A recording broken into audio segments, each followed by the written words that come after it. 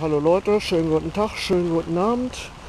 Ja, mein heutiges Thema ist äh, Braunschweig oder Stadt äh, verhöhnt NS-Opfer.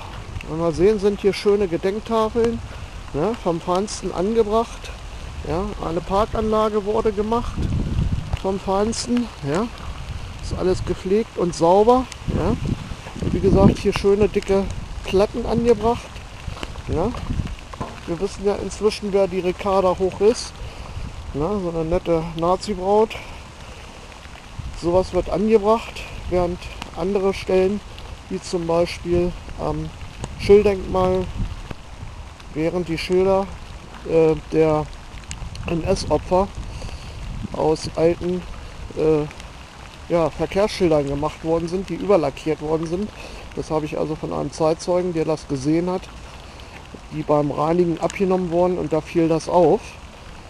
Ja, es ist also schon faszinierend, dass man hier so gute Arbeiten macht ja, und keiner bemerkt hier an der Schil-Gedenkstätte. Ja. Und das sind hier die Tafeln, die hier angebracht sind. Das finde ich auch gut. Nur wie gesagt, mir haben Zeitzeugen gesagt, dass es hier mal einen Anschlag von Rechten gegeben hat. Und dann mussten diese Tafeln runter, damit sie gereinigt werden können. Und man hat dann festgestellt, dass diese Tafeln von äh, ja, im Prinzip äh, alten Verkehrsschildern gemacht worden sind, die man schnell mal überlackiert hat.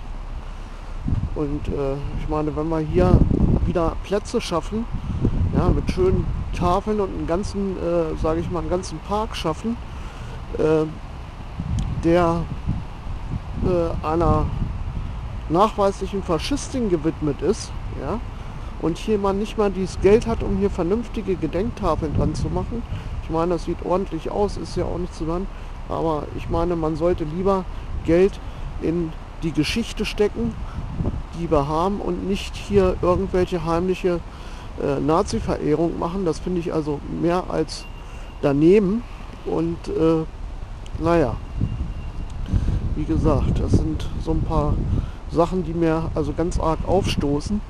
Ja, wo ich sage, möchte die Stadt Braunschweig hier sich mit der Geschichte nicht auseinandersetzen, ne, wird sie bewusst verdrängt.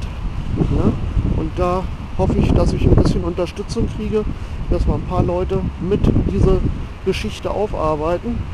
Denn es ist wichtig für die Zukunft, ja, zu wissen, was ist in dieser Stadt passiert und nicht, dass wir hier wieder Nazitum fördern ja, und äh, die Opfer des Nationalsozialismus äh, ja, hier abspeisen. Ne? Es ist also wirklich ein Unding. Äh, wie gesagt, wir haben ja auch noch das KZ oder Arbeitslager Schützenplatz, wo unser Bürgermeister, ex-MPD, ja ein Spaßbad bauen wollte. Das also schon mal gar nicht geht. Das ist also wirklich der Hammer, ne? wie man hier mit der Braunschweiger Geschichte umgeht. Und ja, alles hält die Schnauze. Das ist also unglaublich sowas hier. Ne? Wie gesagt, ich finde, dass dieser mehr Förderung braucht, die Gedenkstätte und dass wir hier die Geschichte der Braunschweiger wieder aufleben und vernünftig erklären und Gedenkstätten bauen, da wo was gewesen ist, weil Braunschweig hat eine historische Verpflichtung, ja, aufgrund der Tatsache, dass Adolf Hitler hier in Braunschweig eingedeutscht wurde. Und es geht ja wohl gar nicht an, dass man hier äh, das Nazitum wieder hochhält, während die Opfer des NS-Regimes hier dermaßen äh, ja, erniedrigt werden und verhöhnt werden. Ne, wir denken an die Ricarda Hochschule, wir denken an den Ricarda Hochplatz im Inselwall. Es ist ja wohl wirklich ein Unding, was hier abgeht. Und äh, es muss also mehr Geld hier in die Geschichte fließen, dass die Geschichte aufgearbeitet wird, weil es ist wichtig für spätere Generationen, dass die Geschichte ordentlich überliefert. Ja, wie gesagt, also es ist wirklich ein Ding. Gymnasium, Ricarda Hochschule mit dem Braunschweiger Löwe.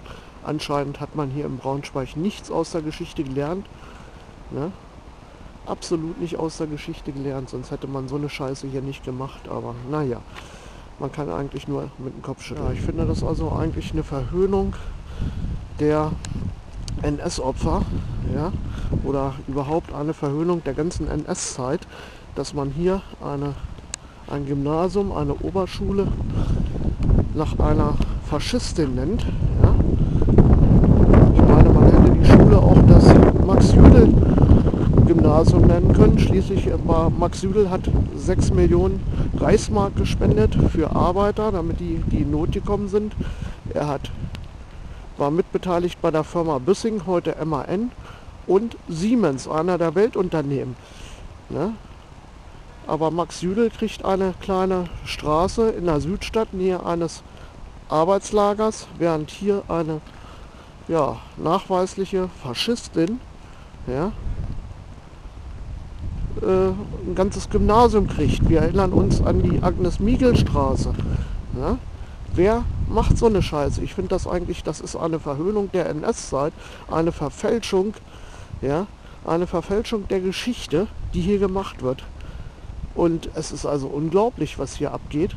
Ja? Man kann also nur mit dem Kopf schütteln, was hier in dieser Stadt abgeht. Das ist unglaublich. Ja, Leute, das ist also ein Unding, was hier in der Stadt abgeht, äh, wie man hier mit der Geschichte umgeht. Es ist, finde ich, unglaublich, was da kommt. Also ich habe hier noch so einiges Unglaubliches, was hier noch hochkommt. Und ähm, ja, wie gesagt, also äh, ich finde das Ganze eine Verhöhnung und eine Verhöhnung der Geschichte, die wir haben. Und äh, es wird Zeit, dass man da mal ein bisschen Gas gibt und hier sich nicht mit äh, Kasperaden eingibt. Wie gesagt, wir haben die Agnes-Miegel-Straße und wir haben hier Plätze. Äh, ich meine, gut, dann weiß man natürlich, warum damals diese spontanen Demos der Nazis, äh, warum die sich am äh, Inselwall getroffen haben. Äh, das sind die geheimen Plätze, das hat wahrscheinlich gar keiner geschnellt. Ja, wie gesagt, äh, ob die Frage, ob das inszeniert ist oder nicht, äh, da werden wir nochmal kommen, da bringe ich eine andere Sache nochmal zu. Und äh, wie gesagt, also da müsste, muss auf jeden Fall was passieren. Wir müssen die Stadtgeschichte aufarbeiten, aber auch die juristische Geschichte der Stadt Braunschweig im, im, in der NS-Zeit. Es ist also dringend notwendig.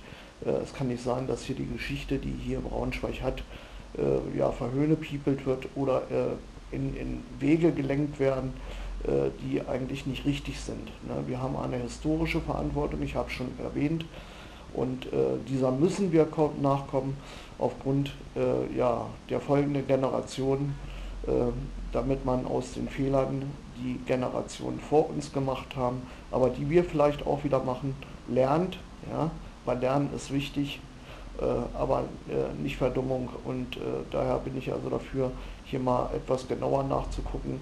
Und wie gesagt, es kann nicht sein, dass hier Gelder freigemacht werden für äh, nachweisliche Leute aus dem NS-Regime äh, und während äh, die Opfer äh, verhöhnt werden, wie zum Beispiel hier mit dem Spaßbad auf einem ehemaligen Arbeitslager. Wir haben ähm, das Geburtshaus äh, auf, an der Münchenstraße, heute Großmarkt. Ja, äh, da wird einfach schlicht drüber weggegangen. Diese Geschichte ist krass, sie ist hart, na, aber sie muss aufgebaut werden. Und mein, meine Meinung ist, aber da werde ich auch nochmal eine Sendung zu machen, wir sollten diese, diese Geschichte aufarbeiten, dementsprechend preisgeben und äh, mit dieser Aktion könnte man, ne, könnte man Touristen in die Stadt locken, die, äh, was heißt locken, ich will sie ja gar nicht locken, man will ihnen die Geschichte preisgeben, das ist was, was Leute wissen wollen ja, wie die Geschichte aufgearbeitet wird. So kann man hier den Tourismus in der Stadt fördern, statt mit Mumschanz und Förlefanz und Otto dem Vierten und all so ein Blödsinn. Ja, äh, und äh, das geht nun mal gar nicht. Also wenn wir hier in der Stadt wirklich was erreichen wollen äh, und hier auch Tourismusförderung machen wollen und diese Stadt so wie sie ist, mit der Geschichte aufarbeiten wollen, dann muss hier langsam mal was angefangen werden. Ja, soweit so gut von der Lucifer News aus Braunschweig. Bleibt schön sauber, bleibt trocken, damit wir uns bald wieder sehen zu den nächsten News.